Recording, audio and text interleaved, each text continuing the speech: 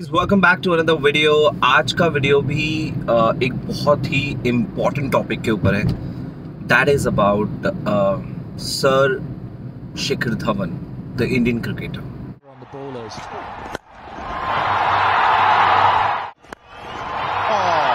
goodness me.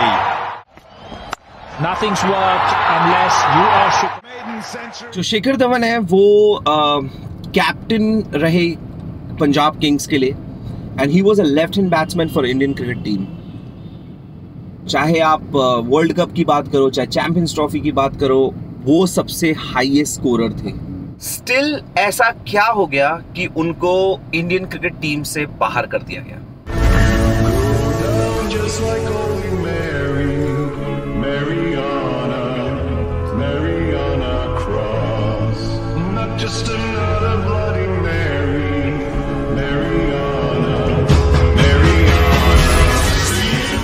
के video में इसी के बारे में बात करेंगे।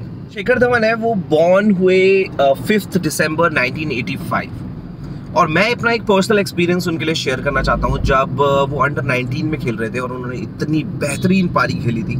हम काफ़ी छोटे थे बट उसी वक्त मुझे ये बात रियलाइज़ हो गई थी कि भाई, ये बंदा ना इंडियन क्रिकेट टीम में आग लगा देगा, अगर आ गया तो। नहीं आप लोग इस बात से कितना रिलेट करोगे पर मैं पर्सनली उनको बहुत ज़्यादा मिस करूँगा इंडियन क्रिकेट टीम में। बिकॉज़ मेरा एक पर्सनल एक्सपीरियंस है मैं एक बार एक मैच देख रहा था और लकीली वो वही मैच था जिनमें उनको नाम दे दिया गया था गब्बर।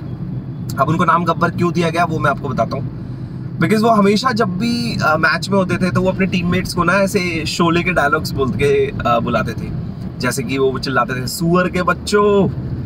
तो इतना ज़्यादा जो फन एलिमेंट उनकी लाइफ में था ना कि उन्होंने यू नो चाहे वो ऑन फ़ील्ड हो चाहे वो ऑफ़ फ़ील्ड हो बट हमेशा हमेशा एक बहुत ही ज़्यादा लाइव लाइवली कैरेक्टर प्ले करते थे वो। टीम ने अभी भी विराट कोहली को और अम, रोहित शर्मा को रख रखा है अभी भी टीम में। पर उन्होंने शिखर धवन को ड्रॉप कर दिया वो भी वो साल में जो साल वर्ल्ड कप का साल है। तो ये काफ़ी ज़्यादा बोल्ड डिसीज़न लगता है मुझे बीसीसीआई का। मेरे को ऐसा लगता है कि इसके पीछे काफ़ी सारी कॉन्स्पिरेसी भी हो सकती है, इसके पीछे काफ़ी सारी चीज़ें हो सकती हैं। बहुत सारे लोग ना अलग अलग बातें बोल रहे हैं कि उनका शायद पर्सनल कैरेक्टर अच्छा नहीं था, कोई बोलता है कि प्रोफेशनली वो काफ़ी ड्रॉप हो रहे थे। तो आज उनके पर्सनल कैरेक्टर को भी बाहर से जानने की कोशिश करते हैं। बेसिकली जो उनकी शादी हुई, उनकी वाइफ उनसे बड़ी थी। तो एक चीज़ के बारे में तो हम बहुत अच्छे से जानते हैं कि वो प्यार को वैल्यू करते थे, वो ये नहीं देखते थे कि यार पर्टिकुलरली ऐसा होना चाहिए, वैसा होना चाहिए। बट अभी एक रीसेंट आज तक के इंटरव्यू में उन्होंने बोला कि जो उनका डाइवोर्स हुआ, उसमें उनकी खुद की गलती थी। मैं फेल हुआ क्योंकि कोई भी जब भी इंसान डिसीज़न लेता, आखिरी डिसीज़न इंसान उसी का ही होता है। तो मैं या तो दूसरों पे उंगलियाँ उठाना वो नहीं करता। मैं फेल इसलिए हुआ क्योंकि मुझे उस उस फ़ील्ड का अंदाज़ा नहीं था। हर एक चीज़ आज के समय क्रिकेट की जो आज मैं बातें कर इस वक्त कर रहा हूँ ये अगर मुझसे बीस साल पहले पूछे तो मेरे को इन सब बातों का नहीं पता तो एक एक्सपीरियंस है। तो जो यंगस्टर्स भी हैं even when they getting into relationship या कुछ भी तो एक्सपीरियंस करे उसको वो ज़रूरी है। ये नहीं कि जल्दी में इमोशंस पहले आएँगे और भी ओ यार शादी कर ले। ये नहीं। पहले एक दो साल बिताएँ इंसान के साथ। अ, देखें कि क्या आप दोनों की संस्कार मैच करते हैं नहीं करते। एक दूसरे के साथ अच्छा टाइम एंजॉय करते नहीं करते। तो वो भी एक मैच की तरह। अभी एक बंदे की वाइफ के साथ उसका डाइवोर्स हो गया। उसके बच्चे की कस्टडी उसको नहीं मिली। ये सब चीज़ों के बावजूद भी शेखर धवन ने जो ग्राउंड पे आतंक मचाया ना वो काबिल तारीफ़ है दोस्तों। मुझे ऐसा लगता है कि तुम लोगों को अभी कमेंट्स में लिख देना चाहिए कि Shekhar Dhawan we want you back ऐसा लगता है कि इंडियन क्रिकेट टीम ने ये बहुत बड़ी गलती करी है।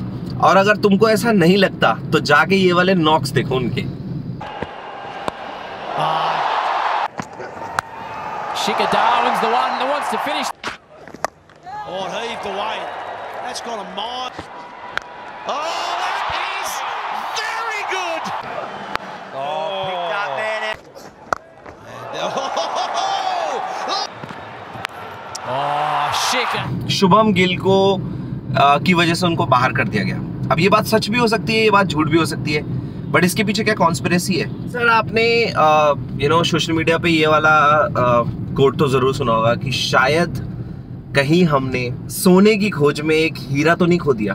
मैं पर्सनली ना यार, बहुत ज़्यादा इमोशनल हो गया था। मतलब जब मैंने देखा ना उस बंदे को, मैंने सुना तो मुझे लगा वो शिट सच में किसी के साथ इतना कुछ भी हो सकता है। सो so बेसिकली ये तो थी शिखर धवन सर की बात। अब वो इतने पॉपुलर है कि हम उनके बारे में बात कर सकते हैं। बट ऐसे कई और लोग हैं जिनको शायद अपनी कहानी कहने का मौका नहीं मिला। या फिर आ, उनकी वैल्यू को उनकी चीज़ों को इतना ज़्यादा ड्रॉप कर दिया गया कि वो कुछ भी बोले तो लोगों को गलत ही लगेगा और झूठी लगेगा। उन लोगों का क्या? उनकी कहानी क्या?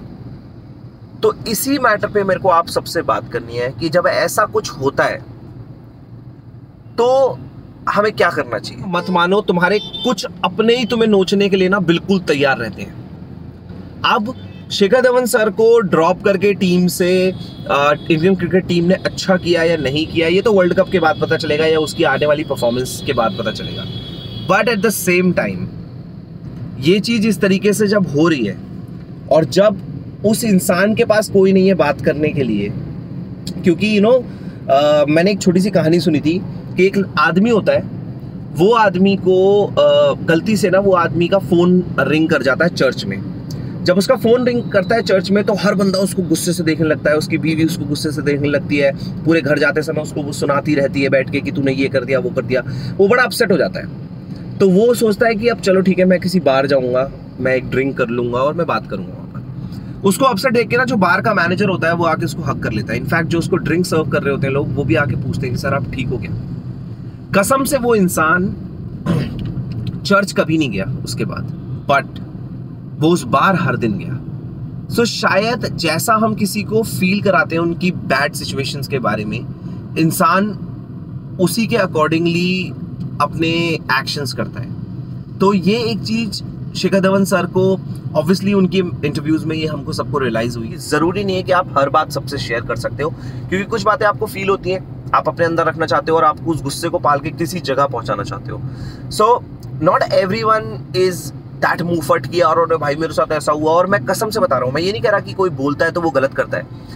बट अक्सर ऐसा होता है कि 90 परसेंट ऑफ़ लोग जो बोल रहे हैं कि अरे हमारे साथ ऐसा हो गया, वैसा हो गया, ये हो गया, वो हो गया और इस बात को रोके अरे मैं तो अब ये कर दूँगा, वो कर दूँगा, वो अक्सर झूठ बोल रहे होते हैं।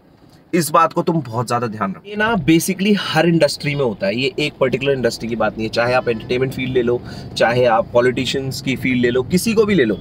लोगों ने डिसाइड कर रखा है कि एक दूसरे के बारे में गलत धारणाएँ फैला देंगे और उस वजह से किसी एक को उस उस इमेज जो बन जाती है उसकी, उसका बहुत कुछ झेलना पड़ता है। इस पर्टिकुलर मैटर पे मेरे पास बोलने के लिए बहुत कुछ है बट मैं इस वीडियो में नहीं बोलूँगा क्योंकि ये वीडियो पर्टिकुलरली मैं शिखर धवन सर के ऊपर ही रखना चाहता हूँ। बट हम आने वाले टाइम में इस मैटर पे और भी बहुत बातें करेंगे। तुमको क्या फील होता है वो नीचे कमेंट्स में बता देना।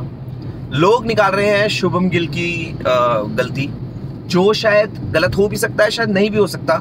उसको मौका मिलेगा तो वो अच्छा परफॉर्म करेगा। और उसके बिहाफ पे अगर कोई बाहर चला जाता है तो दैट इज़ कंप्लीटली उसकी खुद की किस्मत। क्या बीसीसीआई ने गलत किया? क्या इसके पीछे विराट सर का या फिर रोहित शर्मा का हाथ है?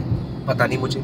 ठीक है बट जो भी है, इस वीडियो में मैं कोई फाइनल कंक्लूजन नहीं देने वाला हूँ। आपको जो भी लगता है, हम नीचे कमेंट्स में बैठ के डिस्कस करेंगे। ठीक है? बाकी, ये वीडियो कैसा लगा? प्लीज़ मुझे कमेंट्स में बताना। एंड इस वीडियो को एक अच्छे क्रिकेट फ़ैन तक शेयर करना मत भूलना गाइस चैनल को सब्सक्राइब नहीं किया है तो अभी कर लो। and I will see you in the next video. Love you.